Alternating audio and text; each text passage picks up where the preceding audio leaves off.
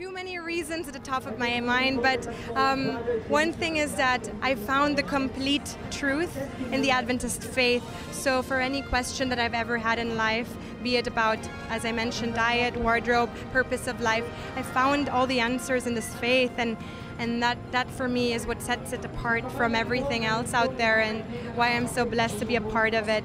And um, looking back also at uh, the history, kasi ako, I, I tried to research into what I am you know, told or taught.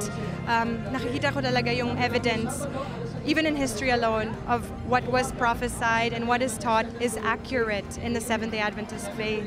When we are together, we can strengthen and inspire one another um, versus just being on your own. Yes, we have a relationship with the Lord that is personal, but we also have to have gatherings like these where we come together, we share testimonies, we share how God has been good to us in our individual lives because it strengthens us, strengthens us and reminds us that He exists and that his promises are true. To keep um, the commandments of the Lord and to read the spirit of prophecy because it explains all the truths that um, you will need in life to guide you and to do what is right. And um, we are in the last days, so every, every person's help counts. We all have our own talents.